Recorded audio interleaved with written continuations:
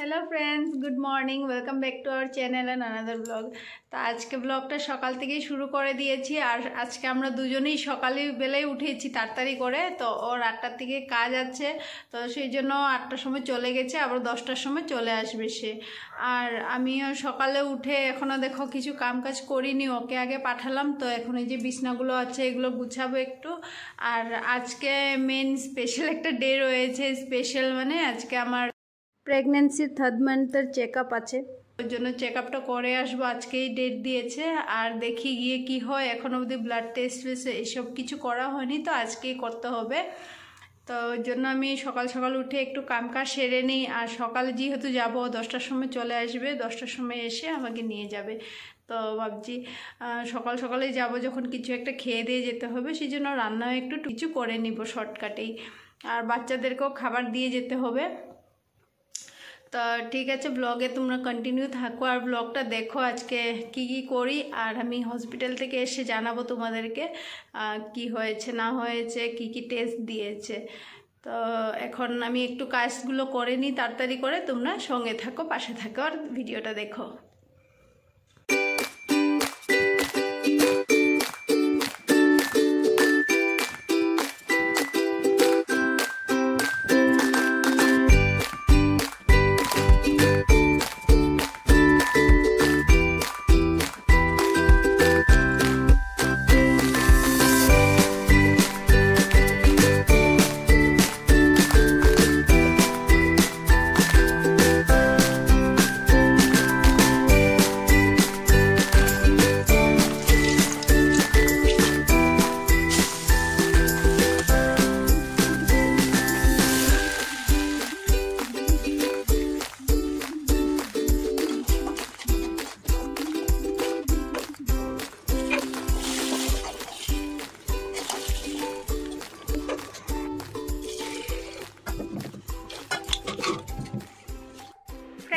আমার রান্না টানা এখন সব কিছু কমপ্লিট হয়ে গেছে। আর যেগুলো ঘরের কাজ ছিল, ওগুলোও করে নিয়েছি। আর এখন শুধু স্নান করা বাকি আছে, তো স্নান করে আমি রেডি হয়ে যাব। ওরও আসার সময় হয়ে গেছে, যে কোনো সময় চলে আসতে পারে। আর আসলে পরে তো একদম তাড়াহুড়ো করে দিবে। আর তখন আর ধৈর্য হবে না ওয়েট করার জন্য। সেই জন্য ভাবছি যে আগে রেডি হয়ে যাই আমি তাড়াতাড়ি। তো ঠিক আছে, আমি রেডি হয়ে আসছি। আপনাদের সঙ্গে আবার কথা বলছি। রেডি হয়ে। হ্যাঁ ফ্রেন্ডস তো আমরা রেডি হয়ে গেছি। আর এখন এই যে আমি হাতে প্রেসক্রিপশন আগেরগুলো এগুলো নিয়ে নিয়েছি। আর এখন বেরোচ্ছি আমরা। তো তোমাদের সঙ্গে আমরা হসপিটালে গিয়ে দেখা করে কথা বলছি।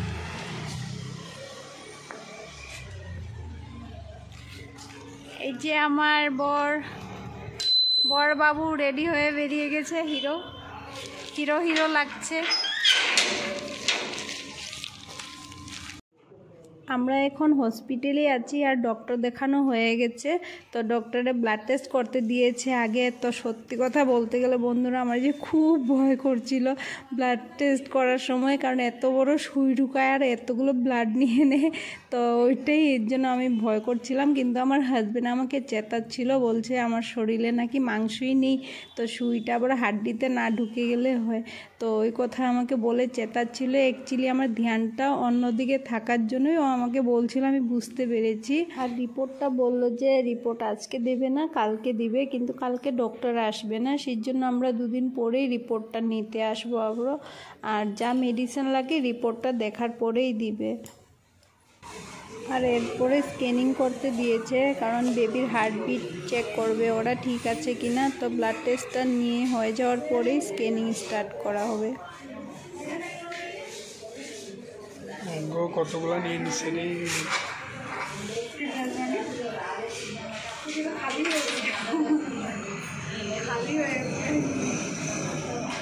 এক সিরিঞ্জ নেন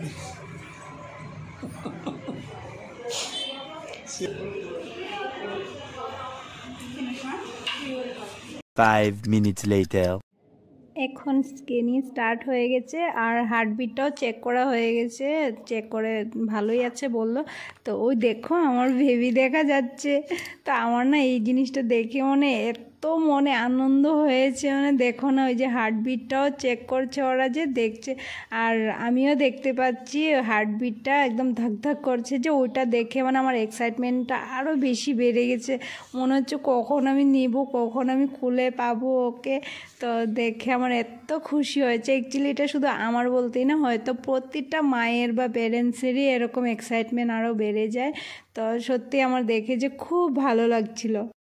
আমি মানে তোমাদের বলে বুঝাতে পারব না, আমার কত ভালো লাগছে, হয়তো তোমরা বুঝতেও পারছ। আমরা হসপিটাল থেকে চলে এসেছি, আর যা যা আমাদের চেক আপ করতে দিয়েছিল ডক্টরে সেগুলো কমপ্লিট সব কিছুই করে নিয়েছি। কিন্তু রিপোর্টটা বলেছে, যেটা ব্লাড টেস্ট করেছি, সেই রিপোর্টটা আমাদের কিছুদিন পরে দিবে মানে দুদিন পরে দিবে।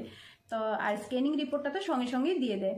তো ডক্টরে বলল যে, দুদিন পরে যখন ব্লাড টেস্টের রিপোর্টটা দিবে, তো ব্লাড টেস্টে কী প্রবলেম আছে না আছে সেগুলো দেখেই সে অনুযায়ী মেডিসিন দুদিন পরেই দিবে। তো মেডিসিন অন্য কিছু আমাকে আর দেয় না। তো এখন ব্লাড টেস্ট রিপোর্টটা যেটা দুদিন পরে দেওয়ার ছিল, ওটাও আমরা পেয়ে গেছি। তো পেয়ে গেছি মানে এই যে ভিডিওটা এখন যেটা আমি শ্যুট করছি, এটা হয়েছে তোমার কিছুদিন পরে, তিন চার দিন পরে শ্যুট করেছি। কারণ হসপিটাল থেকে আসার পর আমার শরীরটা একটু অসুস্থ হয়ে গেছিল, যার জন্য আমি কন্টিনিউ ভিডিওটা করতে পারিনি ওই দিন। আর তারপরে তো ভিডিও এডিটিং করতেও আমার সময় লেগেছে, কারণ আজকাল আমি ভিডিও এডিটিং বা শ্যুট ওই সব কিছু করতে একটু প্রবলেম হয় একটু একটু করি, তারপরে আবারও রেখে দিই। তো যখন ভালো লাগে মানে হেলথের উপর ডিপেন্ড করে এখন আমার তো যখনই ভালো লাগে আমি তখনই ভিডিও এডিটিং করি বা শ্যুট এখন যে ভিডিওটা এডিটিং করছি, ওটা হয়েছে চার পাঁচ দিন পরেই আমি এডিট করে ভিডিওটা আপলোড হয়তো আজকে করব ইভিনিংয়ে নয়তো কালকে করব। তো যাই হোক মেন কথায় আসি এখন। তো আমাদের ব্লাড টেস্ট রিপোর্টটা যখন আমরা দেখলাম তো মোটামুটি সব কিছু নর্মালি আছে। আর কিছু কিছু অল্প একটু উনিশ বিশ আছে, যেমন ব্লাড টেস্টের মধ্যে ব্লাড কম পেয়েছি বা হিমোগ্লোবিন একটু কম আছে ক্যালসিয়াম একটু কম আছে মানে একটু একটু পার্সেন্টের জন্যই কম আছে।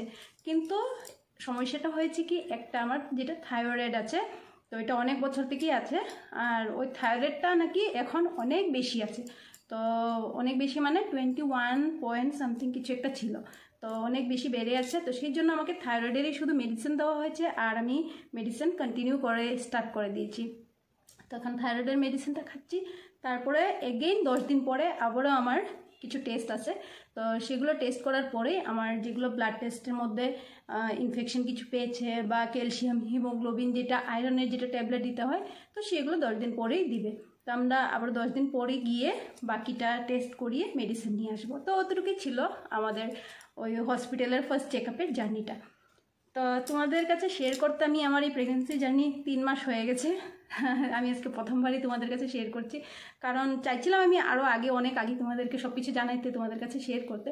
কিন্তু বড় যারা আছে, আমার গুরুজন, তারা সবাই আমাকে বলেছে যে তিন মাসটা কনফার্মের জন্য, আগে নিজে কনফার্ম হয়ে নে, তারপর সবাইকে না হয় জানাস। তো ওই জন্য আমার একটু জানাতে লেট হয়ে গেছে তোমাদের সবাইকে। তো সেই জন্য আমি সবার কাছে ক্ষমা চাইছি। কিছু ভুল মনে করো না আমাকে।